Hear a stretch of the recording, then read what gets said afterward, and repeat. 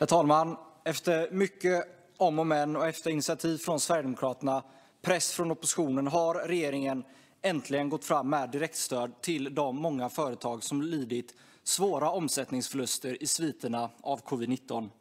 Dessvärre har redan väldigt många i grunden livskraftiga företag inte bara gått under, utan de har tillåtits att gå under med regeringens goda minne. Det förslag som regeringen presenterade eh, på en pressträff förra veckan är högst nödvändigt och alldeles självklart, men det lämnar ändå en hel del frågeställningar i luften. Sverigedemokraterna föreslog direktstöd redan för en månad sedan, men regeringen har fortfarande inte levererat en proposition till finansutskottet att ta ställning till. Isabella Lövin, hur många företag räknar regeringen kommer gå under och gå i konkurs helt i onödan innan vi har stödet på plats? Tack. Eh, miljö och klimatminister Isabella Lövin, Miljöpartiet. Eh, tack, herr talman. Tack, eh, Dennis Dioukarev, för frågan.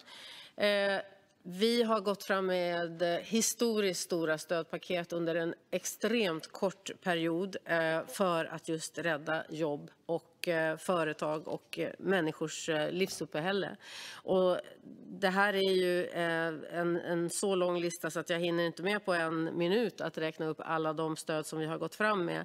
Men det handlar ju om både stöd till korttidspermittering så att man, ett företag ska kunna behålla sina anställda fast staten går in och, och betalar en stor del av den lönen till borttagna arbetsgivaravgifter och olika stöd till både hyran och sjuklöneansvaret inte minst. Så enligt eh, Konjunkturinstitutet så har vi alltså på detta sätt räddat 175 000 jobb. Hade, Sverige, hade regeringen inte gjort detta hade vi förlorat 175 000 jobb. Och vi är beredda att fortsätta stödja företag så att vi klarar jobben.